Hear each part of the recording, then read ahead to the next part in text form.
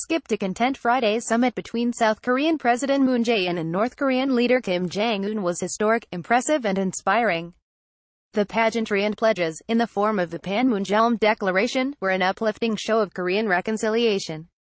Kim maintained his rapid-fire charm offensive over the weekend, announcing his willingness to dismantle North Korea's nuclear test site under international supervision and his intention to meet with Japanese Prime Minister Shinzo Abe.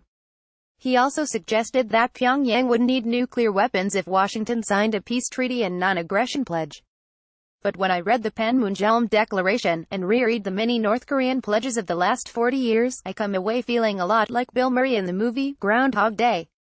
Friday's declaration is replete with generalities and bereft of detailed plans or commitments, particularly on denuclearization.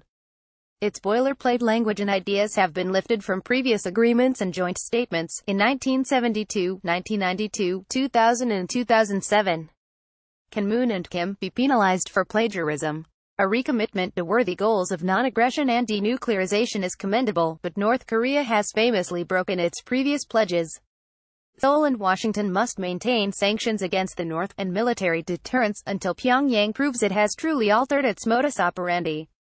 When you're approaching the altar with a serial philanderer, it's best to keep the divorce lawyer on speed dial.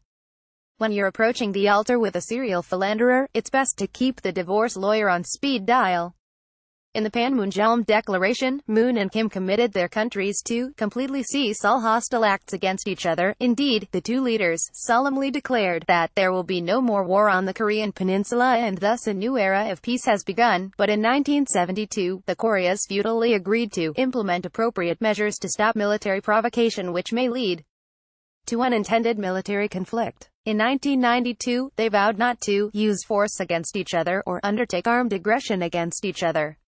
In 2007, Seoul and Pyongyang agreed to adhere strictly to their obligation to non-aggression. None of those pledges constrained North Korea from conducting assassination attempts on the South Korean president, terrorist acts, military and cyber attacks and acts of war. Moon's strategy has focused on improving inter-Korean relations, striving toward peace and resuming South Korean economic largesse to the north while only paying lip service to more substantive and difficult issues such as denuclearization. He's playing good cop and punting the onerous duties of bad cop to the United States.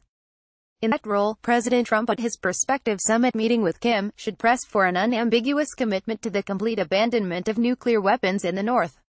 That requirement in itself may torpedo the Panmunjom euphoria. Will the South blame Kim's intransigence or Washington's rigidity for derailing the latest chance at Korean reconciliation?